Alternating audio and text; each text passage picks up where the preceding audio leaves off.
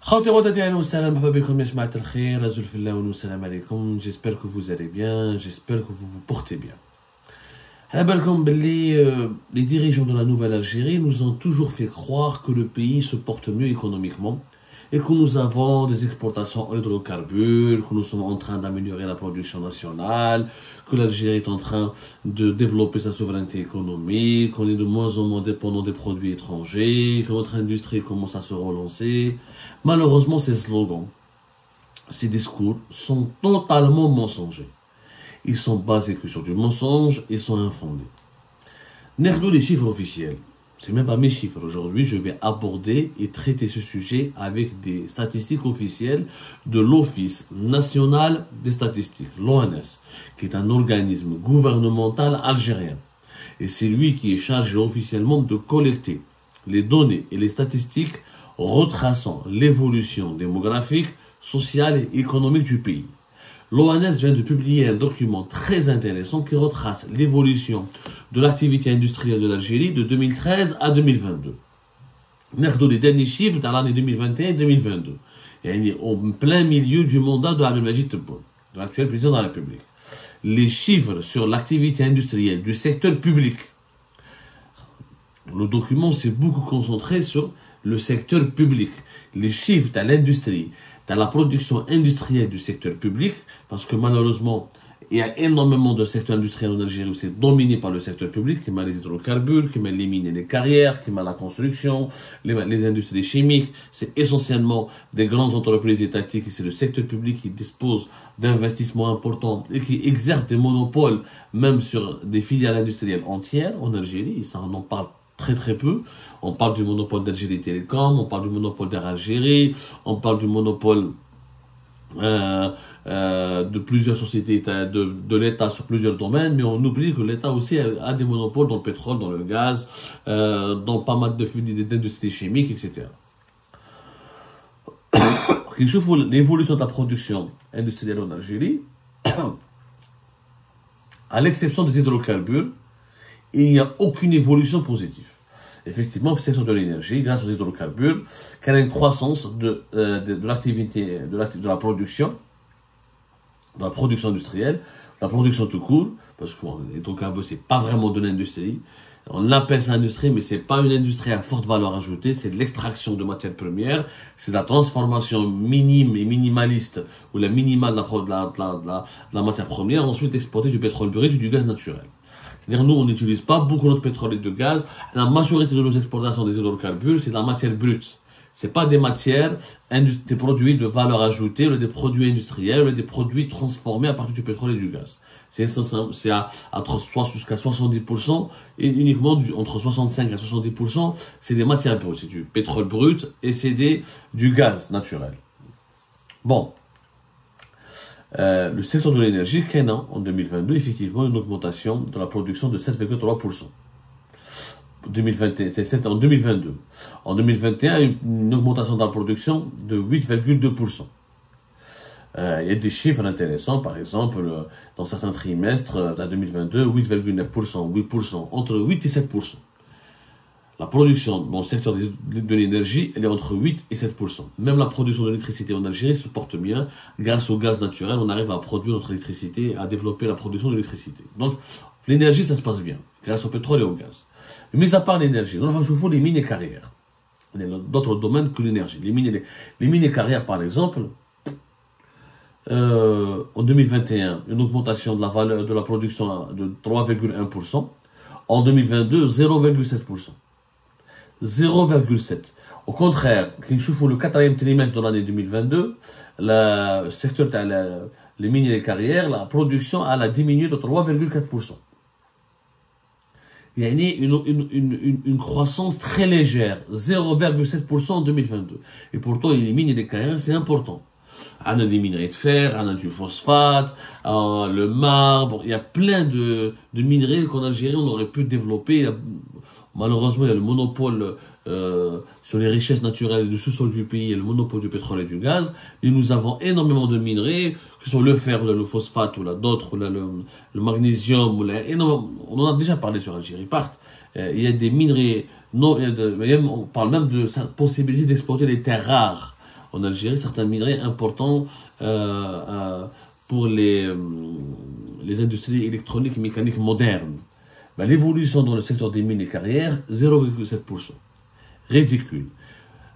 Par contre, un secteur stratégique qui les industries sidérurgiques, métalliques, mécaniques, électroniques et électriques, il y a une baisse de l'activité extrêmement inquiétante. En 2022, en 2021, l'activité de ce secteur stratégique, parce que ça c'est de l'industrie, sidérurgique, transformation du fer, métallique, transformation du fer et produits métalliques, mécanique, euh, euh, euh, mécanique, électrique et électronique, ça, c'est de l'industrie. C'est comment produire des produits électroménagers, les engins mécaniques, les voitures, les pièces, les pièces de rechange, les machines industrielles. Ça, c'est le cœur de l'industrie.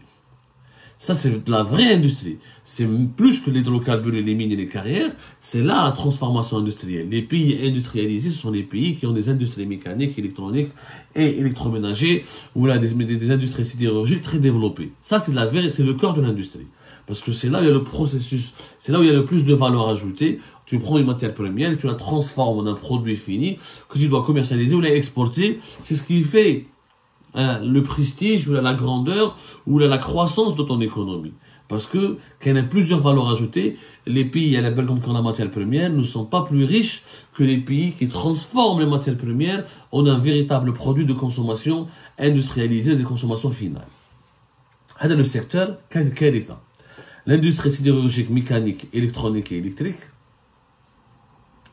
c'est une baisse de l'activité de 11,6% en 2022. 11,6%. Durant le trois premiers premier trimestre, une baisse de l'activité de 28,5%. Deuxième trimestre, une baisse de l'activité de 18,7%. Troisième trimestre, une baisse de l'activité de 7,3%. Le dernier trimestre, 8%, mais c'était trop tard. 11,6% de baisse d'activité. C'est énorme. Il y a un recul de plus de 10% pour le secteur industriel qui a le plus de valeur ajoutée. Pourquoi? Parce que les industriels en Algérie, les entreprises étatiques, ils pour la matière première, parce que pour fabriquer des véhicules, des pièces de rechange, ou là pour fabriquer des véhicules, des composants dans les véhicules, ou là des machines industrielles, il faut de la matière première, il faut aussi des équipements industriels. Quand tu peux pas importer, quand tu as une usine, il y a des machines, il y a des pièces de rechange aussi, il y a de la maintenance, il y a des équipements. Euh, il y a, l'industrie, elle a des besoins. Les besoins de l'industrie, quelquefois, les machines, ils vont l'étranger, il faut les ramener depuis l'étranger. Que c'est une machine, si tu, pour la réparer, il faut l'importer. Pour importer la pièce, c'est des procédures bureaucratiques, c'est des de la paperasse comme l'Algérie a limité, comme le gouvernement actuel, le régime actuel, à travers ses multiples gouvernements, a appliqué une très stricte, une très stricte diminution et interdiction des importations, ça a occasionné quoi? Ça a occasionné que même les producteurs, même ceux qui produisent des produits industriels à forte valeur ajoutée n'ont pas la possibilité d'avoir des pièces de rechange, n'ont pas la possibilité d'avoir la matière première, n'ont pas la possibilité de de, de, de, euh, de créer, de, de, d'entretenir leurs usines, et du coup, ma cache, sans matière première, sans des équipements, sans euh, une bonne ressource humaine, on va parler de la ressource humaine plus tard, le secteur de l'industrie, mais même quel est Une chute de plus de 11%, 11,7% avec certains trimestres, une chute de plus de 28%. Ça prouve que l'industrie en Algérie, elle est encore plus faible qu'avant c'est-à-dire en 2022, en pleine année de, de boom économique, parce que 2022, à, cause de la guerre en Ukraine, les prix du pétrole et du gaz ont explosé, l'Algérie a commencé à gagner beaucoup d'argent, beaucoup d'argent. Normalement, avec tous les résultats l'année 2022, normalement, c'est là où l'Algérie devait investir et booster sa production nationale, puisqu'elle a commencé à engranger des recettes importantes. Je compte comme les chiffres tout à l'heure, tu as le secteur de l'énergie, une croissance de 8 à 7%. Appréciable. Un autre secteur industriel, les matériaux de construction. Les matériaux de construction, une évolution, une baisse de 1,7% en 2022. En 2021, c'était une baisse de 9,4%.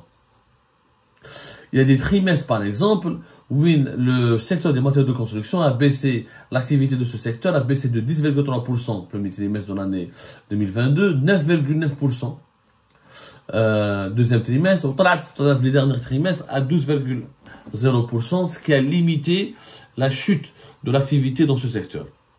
Un secteur important. Les matériaux de construction, ça dépend du, BTP, ça dépend le BTP, tout va, tout va. L'économie va bien. C'est un fameux adage. L'un des miroirs de la bonne santé de l'économie d'un pays, c'est le BTP. Quand un pays construit des infrastructures, construit des logements, fait, lance des chantiers, alors ce pays-là, c'est un pays dynamique, il y a de la croissance, il y a des projets et des idées.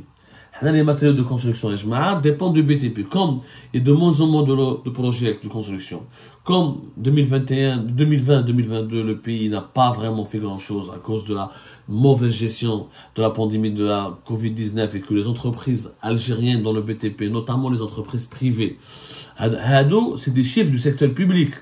On n'a pas les chiffres du secteur privé. Le secteur privé, c'est encore plus catastrophique.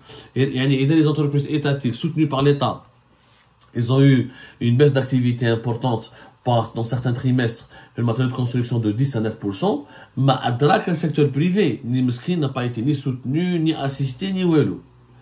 Il n'a pas eu une de politique de soutien financier ou d'accompagnement. Quelle Jusqu'à 2023, où l'État a commencé à relancer certains projets de logement, la DL2, les maisons de 2024, mais durant les trois premières années du mandat de Tebboune, le résultat, il est là. كارثة بمعنى الكلمة. كارثة. Un recul extrêmement important, de 10 à 9% pratiquement similaire et semblable au recul de l'activité dans le secteur des industries sidérurgiques, métalliques, mécaniques, électroniques et euh, électriques. Dans notre secteur, le secteur des industries chimiques. Les industries chimiques en Algérie, ça dépend du pétrole et du gaz. Quand il y a le pétrole, les prix du pétrole et du gaz, ça augmente, l'industrie chimique se porte bien.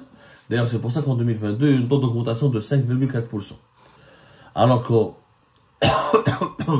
alors qu'en 2021, c'était euh, voilà, c'était pas très très important, c'était pas une augmentation, c'était pas une croissance importante. Mais comme, parce que nous n'avons pas beaucoup d'industries chimiques très développées en Algérie, c'est les dérivés du pétrole et du gaz, notamment les carburants, notamment les, les produits chimiques issus du pétrole et du gaz, mais c'est un secteur qu'on devrait développer parce qu'il y a beaucoup d'argent à gagner, il y a beaucoup d'exportations à valeur ajoutée qu'on peut faire dans ce, euh, dans ce domaine. Il y, a beaucoup de produits issus du pétrole et du gaz qui sont des produits industriels et qui sont des matières premières pour les grandes industries des pays industrialisés que nous, malheureusement, on n'arrive pas à les développer. Mais ça va, ce secteur se porte bien grâce à la, euh, à la bonne santé des prix du pétrole et du gaz depuis 2022. L'agroalimentaire, qui est un secteur important, et ben son taux d'augmentation uniquement de 2,8% en 2022. Il n'y a pas de dynamisme. Pourtant, l'agroalimentaire, nous avons énormément de besoins. Nous avons une forte consommation, nous avons euh, euh, des, des, des, des, besoins importants de la population. Il y a eu des pénuries de certains produits alimentaires.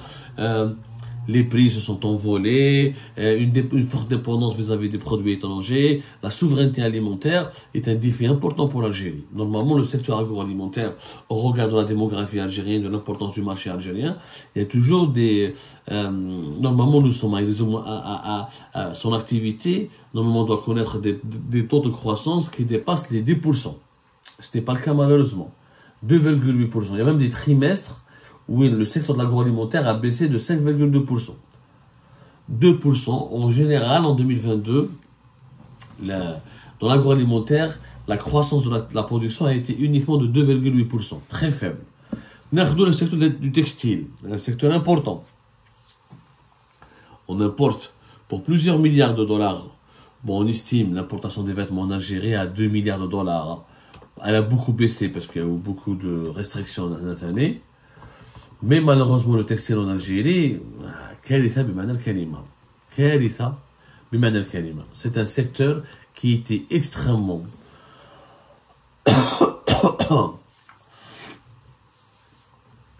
c'est un secteur qui était extrêmement important. Extrêmement important. En 2021, par exemple, nous avons importé pour 295, 300 millions de dollars de vêtements, parce que le textile n'est pas que le vêtement il y a aussi le textile, euh, dans les, le textile industriel. Donc on aura les vêtements. Et nous avons exporté pour 26, 3 millions, pour 26, même pas 27 millions de dollars.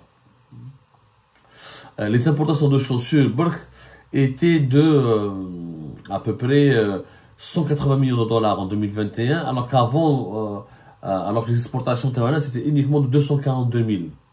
Nous sommes un pays capable de, de, développer l'industrie du textile. La main-d'œuvre n'est pas chère. Proximité avec les pays européens qui sont les grands consommateurs du textile et des vêtements notamment. La Tunisie, elle a réussi dans ce domaine-là. Le Maroc est en train de réussir dans ce domaine-là. La Tunisie, elle avait réussi, mais elle est en crise. On remarque, en France, si vous faites des supermarchés, Monoprix, vous allez voir de plus en plus de vêtements fabriqués au Maroc. Et nous avons une grande capacité pour développer le textile qui en Algérie, les années 70 les années 80, était l'un des fleurons de l'industrie algérienne. Un comme était l'un des fleurons de l'industrie algérienne. Malheureusement, donc, la preuve, l'industrie du textile, une chute de 10,2% dans l'activité.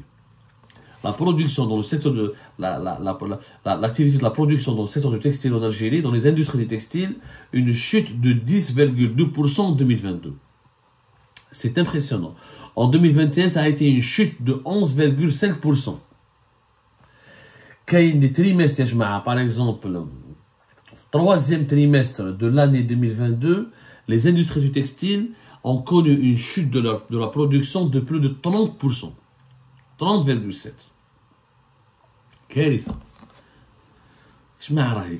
30,7% où on en a alors que le textile, on a tout pour développer en Algérie une grande industrie du textile. Ou les Turcs, ils ont fait des, un grand complexe industriel Ferlizen, en partenariat avec une société étatique algérienne. Mais tous les investissements qui ont été promis dans ce secteur sont bloqués. Parce qu'il y a la bureaucratie algérienne, qui fait le blocage de l'importation des équipements industriels. Les textiles, on a besoin d'équipements, on a besoin de technologie, certaines matières premières. Du coup, comme l'Algérie, elle est elle cultive les blocages. L'Algérie, la nouvelle Algérie, post elle cultive les blocages, elle cultive les, les, les, les, obstacles. Regardez, une chute de l'activité de la production de plus de 10%, avec certains trimestres, une chute de plus de 30%. Par exemple, les industries du cuir. L'Algérie, elle a vu une industrie de cuir importante. C'est la seule qui est en train d'augmenter, par exemple, en 2022, elle a, elle a augmenté de 40% ça prouve qu'il y a des investissements très importants. Très importants. Là, c'est vrai, il faut dire bravo aux acteurs industriels publics dans les industries de cuir, mais bon, 40% par rapport à des années 2020 et 2021 qui étaient une, une véritable catastrophe. Les industries du bois, par exemple.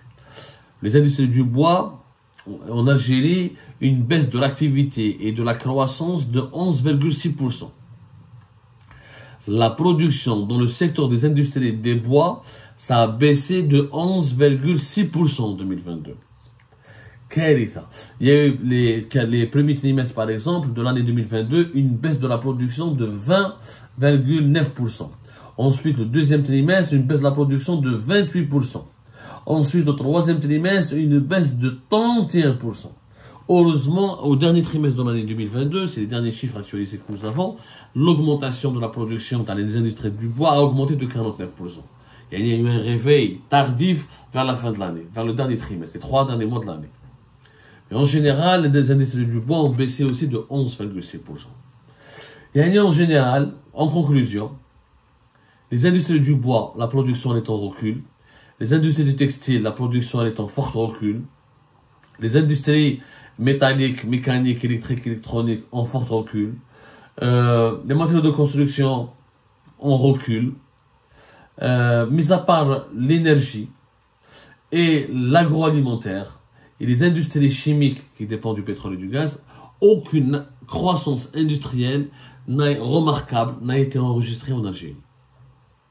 C'est ce qui explique pourquoi nous sommes sous-développés. la vérité.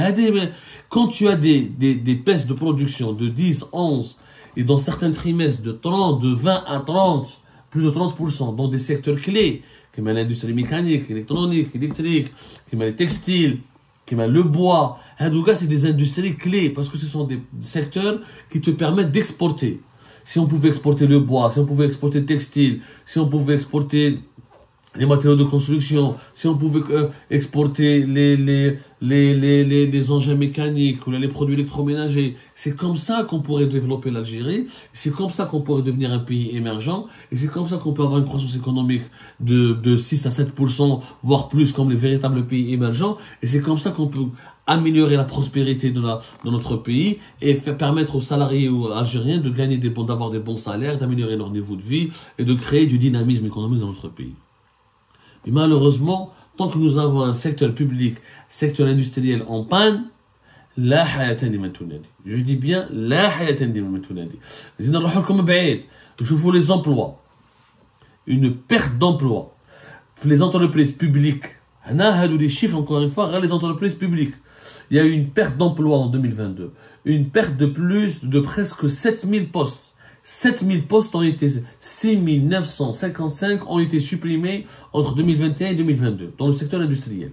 6955. Comme le secteur euh, l'industrie euh, mécanique, euh, euh je corrige, attends, attends, je, je corrige. Merci de, de, de, de, me permettre de corriger. 6955 postes d'emploi ont été supprimés dans le domaine des mini des carrières. Rien que dans le secteur des mini des carrières.